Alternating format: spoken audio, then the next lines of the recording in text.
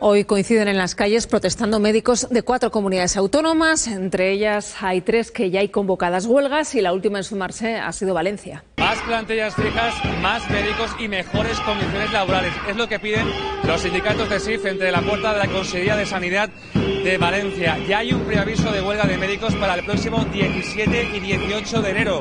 Pero el conseller confía en que se mantenga el diálogo y se busquen soluciones a esta huelga.